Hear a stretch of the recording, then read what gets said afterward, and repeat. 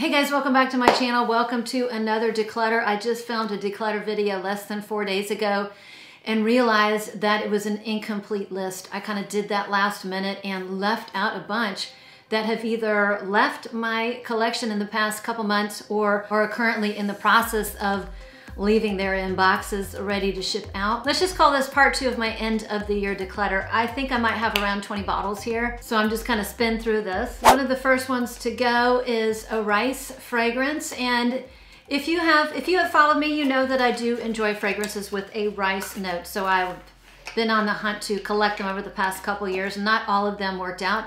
Many of them were blind buys, particularly when they're affordable. So I bought the Rice Paddy by Demeter and it's a nice perfume.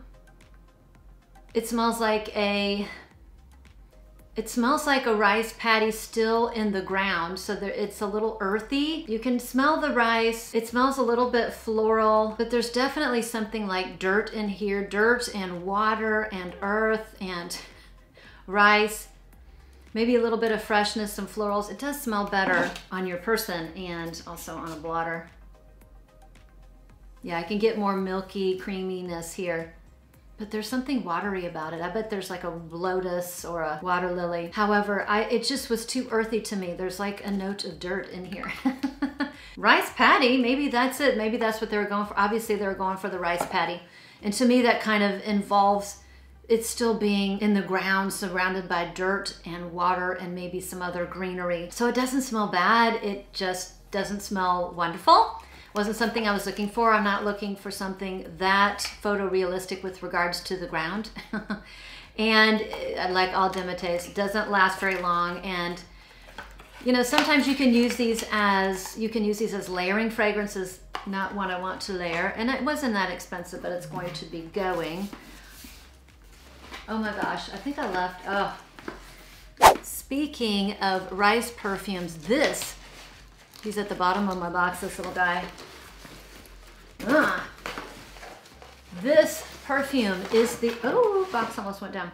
This perfume is the reason I haven't done a rice video. I got this fragrance, I got the little teeny dabber bottle from Luckyscent, you know, beep, beep, beep. And it was fine with the little dabber bottle, and I'm pretty sure I got the dabber sample in cold weather. So when I got the full bottle of Chokedee, and I sprayed it several times in the heat. I wanted to die. It made me literally physically ill. And that's what some of these nutty fragrances, nutty green fragrances can do to me, especially in the heat. It was just like, it was almost revolting. I was just recoiled. It was so bad. I apologize if you like this perfume. I just sprayed it on a hot, hot day and I know I know now to not do that. So this has coconut, rice, vetiver, sandalwood, and some greenness. But what it smells like to me, like you had a coconut, you had coconut rice or a coconut rice patty, and you served it on a banana leaf, and you dusted that with cashew powder.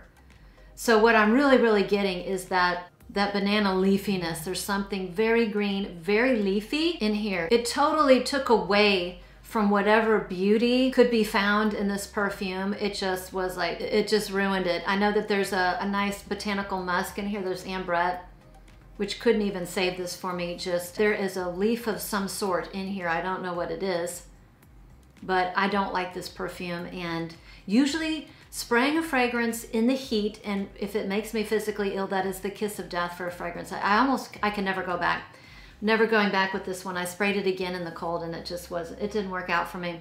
So another one is one that I bought blindly and it is by Dedcool.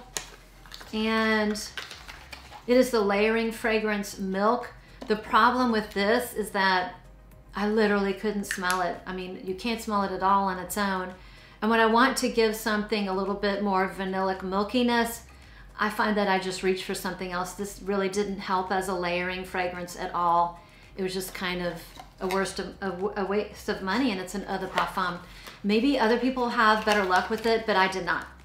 I could not smell it literally after half an hour and an hour. If I want to have a good layering tool, I'm gonna do that through body creams, body lotions, or rarely other, or other perfumes like fresh cream, something like that.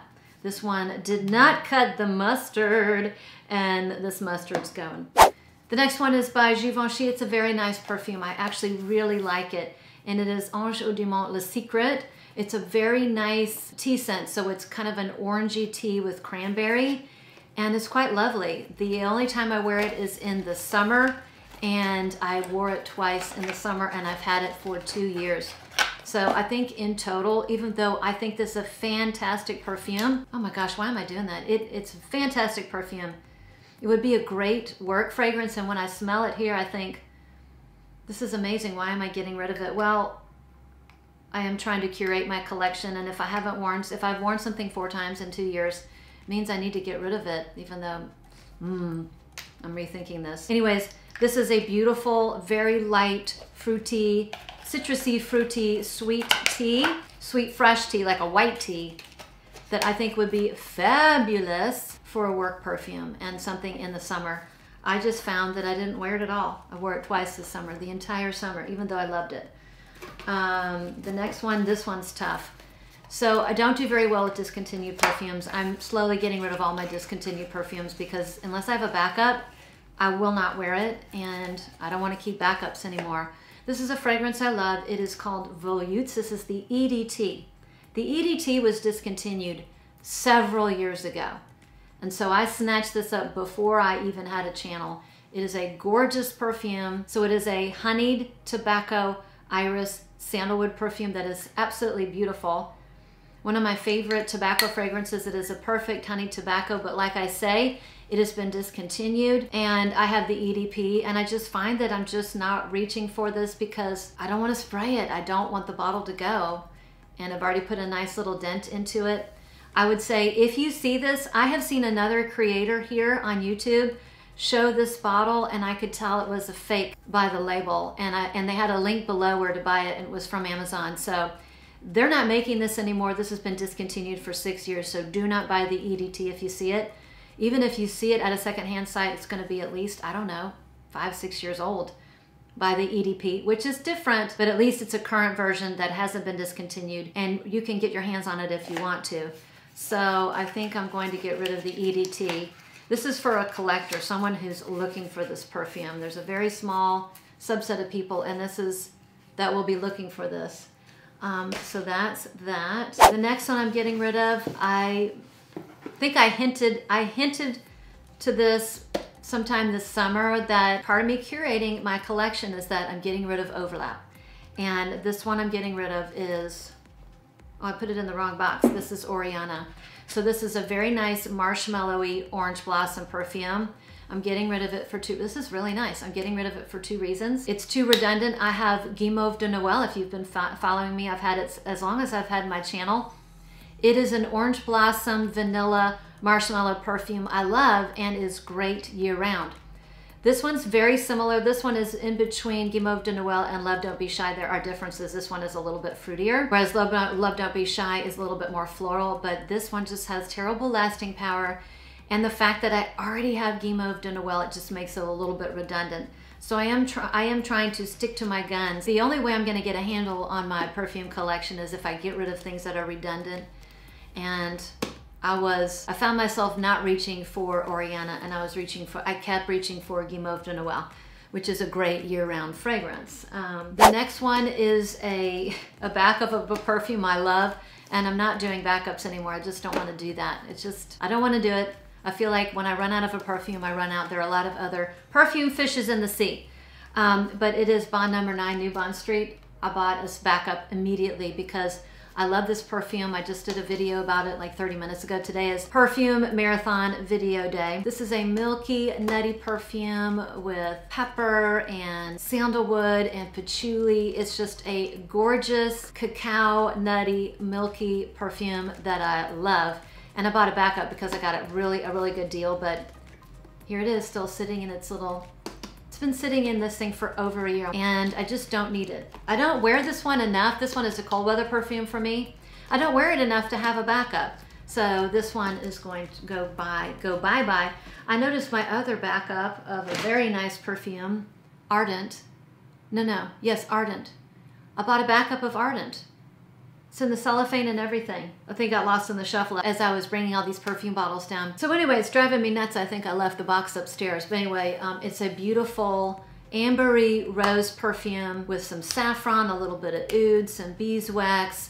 It's very, very gorgeous and it reminds me a ton of Noir de Noir by Tom Ford. I like Ardent better and it's by Boadicea the Victorious and um, it got sold out. And so I purchased a second bottle at Harrods and I paid like $57 to ship it to me, which was moronic. Anyways, it's still, yeah, it's still in the, it's still in the plastic wrap, but like I said, I'm getting rid of all my backups. Just, they're taking up too much room and I've barely used my Ardent, even though it's, it's a beautiful perfume. Oh, it's got rose in it too, if I didn't mention it. It's a beautiful ambery, rose, woody, saffrony concoction. I don't need a backup and I bought the backup just in case it you could never get a bottle again, which was just silly thinking on my part. So that one's going. The next one to go is one by Outlaw Soaps. It's called Blazing Saddles. This is really good. If you like leather, you would probably love this. This is this is like straight up fresh leather. Like if you walked into a leather goods store that made saddles and handmade shoes and boots. It would smell like this. It also has a couple other notes. It's got, um, so it's got leather, sandalwood, campfire, and dirt. so it's a little earthy. So it's very much a realistic leather and some earthiness to it. I don't get campfire. maybe a little bit of smokiness. Very, it's. I would say it leans on the masculine side, and I was to give it to Picky Pat he wasn't a fan of it, so this one is going. And I placed a big order with Outlaw Soaps, and when I did, they tossed in a freebie for me.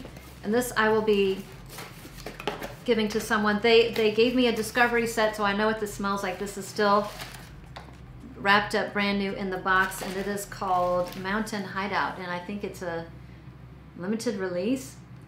So basically, I'm, I'm, reading off the back. This mountain smells like freedom and promise. Pine with a whip of with a whiff of campfire on the breeze. So I, like I said, I did try the Discovery set. This one was a little too earthy for me. I swear, I smelled like something like a dirt note. It did smell. It smelled like there was a note of earth or dirt, and they included this cute little, they first started making soaps. Soaps, a little rubber ducky, but I am giving this away. So like I said, this is this leans masculine. If your person likes the outdoors and those notes would appeal to that person or to you, let me know and I will, this is yours. I'm passing it on. Look how cute their box is. I'm passing along to you as so that someone can use it. Um, so the rest I wrote down, the rest that are either they just left my house or they are in the process of leaving. The next one is Bergamot Bloom by Carolina Herrera. I bought like four or five of these at once and because I love the bottle, they're hard to find, they're pretty, but Bergamot Bloom literally is in the box in the cellophane. I mean, I opened it, sprayed it, it's lovely. Too similar to some other things I have. Um, so I never, never wore it. I wrote down the notes here. So it's got citruses, ginger, pink pepper, and vetiver. And reminded me some something similar to light blue and Neroli Portofino. The next one that is going, or actually, yeah, no, it's going, it hasn't gone yet, is Mon Parfum Gold by M. Micallef. That one I bought blindly. I love the House of M. Micallef, but um, it just, and it's a beautiful perfume, just something about it I think you either absolutely love it or just wasn't for you. I'm not sure what it was. I just prefer a lot of the other offerings from M. Micallef than this one. I I know I'm weird. I don't understand. Yeah, so it's just a preference. So it's a. I wrote down it was. I can't even read my writing, but it was a spicy woody floral. It's like a smoky, spicy woody floral. I wrote down flowers burning. So I got something. I think that had ylang ylang in it. Ylang ylang and lily and rose and there was just something it's almost like you kind of lit some of the flower petals on fire and then after they stopped smoking the burned flower petals would smell something like that it just wasn't for me so that one is on its way out another one on its way out that is boxed up and ready to go is La Vie Belle Oui. Bought it blindly. Another another creator here said I had to have it. It just It's pretty, no doubt. It just, with my huge collection, just got lost in the crowd. It just didn't stand out. It's a very nice, it's a very nice designer offering. I never wore it, literally never wore it. Just thought the bottle was really cute. Uh, the next one is Royal Rose Oud by M. Micallef, another one. Very nice perfume. I just had a lot of Rose Oud perfumes. That was more of a transitional fragrance for me. And I counted, I wore it twice in a year and a half. So just very, very pretty. As far as Rose Ouds go, it's, a, it's an uplifted one. It's a very nice one, a fresher Rose Oud. One that I would wear in all sorts of weather, even warm weather. I just never wore it and I'm sad to let that go. But I look back on my Instagram where I wore it last time and it was, I wanna say January or February of last year. The next one that's going, oh yeah, no, that's going, hasn't gone yet, is La Vie Rêvée by Nino Amadeo. And this is an excellent, thick, or marshmallowy orange blossom perfume. I have a lot of sweet, marshmallowy orange blossom perfumes and I don't need that many. I literally have like four or five. Oriana's going and this one is going as well. This one is a really nice affordable option for a marshmallowy orange blossom perfume. It's not a dupe for uh, Love Don't Be Shy. It's not a dupe for Oriana, but it will put you in the ballpark. It's very thick. Actually, the juice is almost like a dark brown. Very thick, very sweet, very marshmallowy. If you took Cintra Love Don't Be Shy and Guimauve de Noël and you combine them, you would come up with this fragrance. So just not quite as sweet as some of the other ones. So that one is heading out the door and actually is on my Mercari page. Another one I got rid of was Sleek Suede by Yves Saint Laurent. That was a tough one. That one I love. However, all of a sudden, it became discontinued. I bought it at Neiman Marcus during their big December sale last year. Oh my gosh, I love that perfume. It is, it has cacao, incense, pepper, spices, vanilla, patchouli, and oud, but a very easy oud, a subdued oud. Adored it, but it's discontinued, and I don't do well with discontinued fragrance, and I don't talk about them on my channel. So that one had to go bye-bye. I put that up and it went like that. It literally, I put it up on Mercari in less than five minutes. It was sold. So yeah, the next one was one by the House of Sillage, Emerald Reign.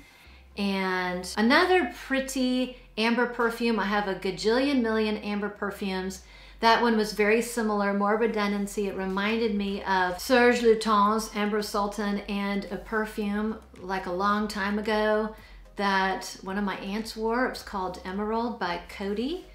actually a pretty good smelling perfume that you can get at the drugstore. You used to be able to get at the drugstore for nothing.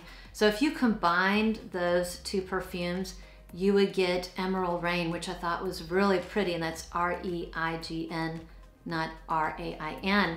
Um, I thought it was really pretty perfume, and I love the bottles. However, curating means getting rid of redundancy, so that went out the door. Another house, this was a big House of Sillage purge. Another one, House of Sillage Holiday. Another lovely bottle. I love a piney perfume. I'm always looking for the perfect piney fragrance that doesn't smell like a car air freshener. However, that one had so much resinous pine that it smelled like turpentine. I got a very turpentine note from it at least the first 30 minutes and I just didn't care for that. There's fruits and citruses in the top. Had those been a little bit heavier, I could have done holiday, but man on me, it just read turpentine, unfortunately. And these are all perfumes that you have never seen me talk about. And which is consistent because that's why I'm getting rid of because I didn't wear them. Uh, the next one, another one you never saw me talk about is called The Gift by Zhivago. Oh my gosh, I love the cute it was like a little, it's a cute like white dagger bottle that kind of sat in its little stand and it was really kind of, the bottle was, it was very unique. But oh my gosh, floral musk bomb. Like if you like powdery florals to the point of like chalkiness or talcum powder, like literal powder bomb with some florals, you would like that one. It's very, very feminine. Um, and I think it's gonna be a love or a hate for somebody. I sprayed it literally. I wore it once and I was like, it's this is not me. It is not a crisp perfume. So if you had the exact opposite taste that I do, you would probably love it. So, but that went goodbye. The next one that went goodbye is another one that is discontinued, Teazzurra by Guerlain, and it's a very lovely citrusy chamomile green tea with jasmine. But, and I loved it. And I wore it, not last summer, but the summer before that, I, I, I gave it a pretty good workout. But again, became discontinued. Don't do well with discontinued perfumes. Can't show them on my channel. Um, and I just tend to not wear them. And the last one I wrote down here, and I'm sure I've left some out, is Lavandes Trianon by Lancome. Another one that got discontinued. That was really nice. That was a lavender cookie with milk. Very, very pretty. Um, sometimes I think maybe I shouldn't have gotten rid of that one, but I just never wore it. I loved having it. I loved looking at it, and it was so pretty, and it was a really pretty perfume. I just never wore it.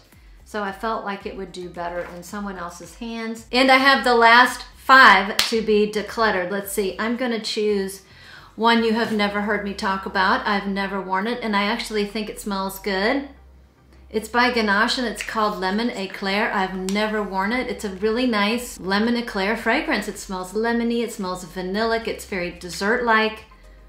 It has a strong lemon note. It's mainly a lemon fragrance without smelling like a cleaner. However, I've had it for over two years, I think before I even had my channel, and I've never worn it once. And I see it all the time, I just never reach for it. So it has to go.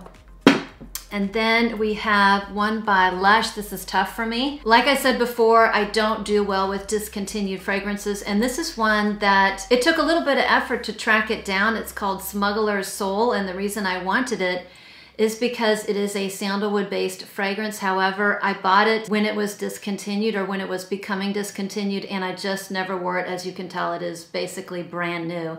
It's a very unusual, it's a lush take on a sandalwood. It has, I swear there's some sort of lemongrass in here. It smells very citrusy. Even though if memory serves, the only notes listed are sandalwood and wood. This has more than that going on.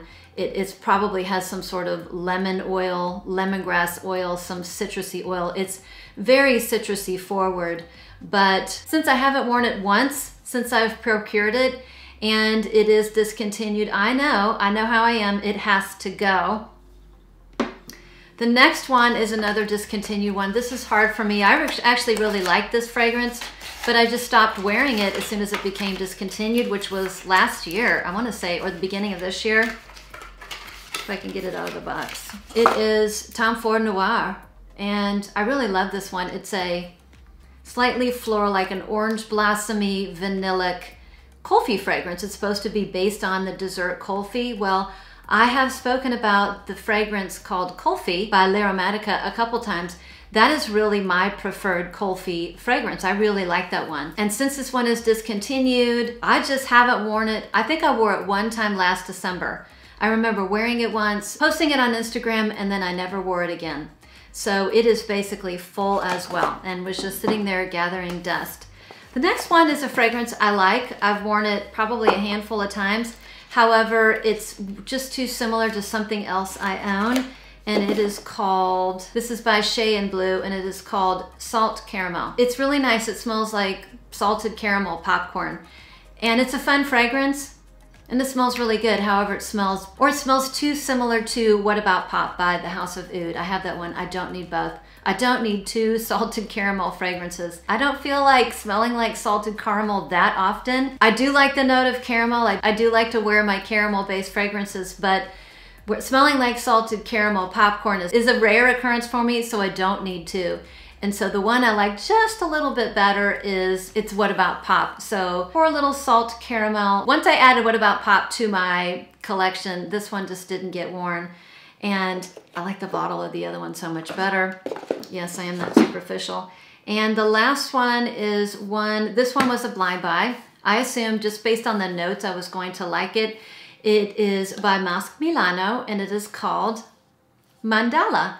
And I'm a huge lover of incense fragrances. I know that some people associate incense with Christmas, and I absolutely do. I love to wear my incense fragrances around Christmas time, particularly the week leading up to Christmas.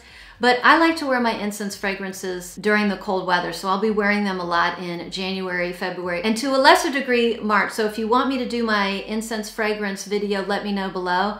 I think in January, my the theme for my January videos is going to be relaxation, unwinding. We've had this whirlwind leading up to the holidays, and I think when January rolls around, we just kind of take this big, deep breath and want to relax and set our goals for the next year. So I think I'm going to do the that kind of content in January. So I would love to do my incense. If you would like to see my incense video, let me know in the comments below. But mandala is was supposed to be a take on incense. It is a take on incense. It's very different from a lot of the incense fragrances I own. And the notes on the back, the top notes are frankincense, nutmeg, and angelica. The, the mid notes are cardamom, cinnamon, cloves, cistus, cedar, and incense, and the base notes are myrrh, sandalwood, oak moss, and ambergris. And the notes, it just sounded like a home run based on the notes, and it just was very, very different from what I thought it would be. Basically, this is incense and herba pura came together and formed a fragrance, and it's so it, I'm getting a lot of fruity musk, even though I just read the notes. There's no fruit in here, but it to, to me comes off fruity. There's like a fruity freshness in here. I do get the spices, but it is just an overwhelming fruity, musky, salty incense. And the frankincense is very, very mild. I hardly get it. Really, I get more myrrh than frankincense. And I don't think, in my opinion, incense is the star of the show here. This just wasn't my thing. And so it was a unsuccessful blind buy. I have so many incense fragrances I absolutely love. I will never wear this one. So that one is going. So that really is the last of my 2022 declutter. Whatever else I have left, whatever else I didn't list, it will go on the next 2023 declutter. And with that, I'll see you on the next one. I'm not done. If you're interested in this little uh, giveaway by Outlaw, let me know in the comment section below. Say, I love the wilderness. And that way I'll know you actually watched the video and you're one of my subscribers and not one of these flybys who like to create multiple accounts, sign up for every giveaway, and then skedaddle. I want this to go to one of my followers or a friend of my follower or a family member of my follower. So I love the wilderness below. I'll put you in the drawing and I'll let it go for a week. So now I'm really.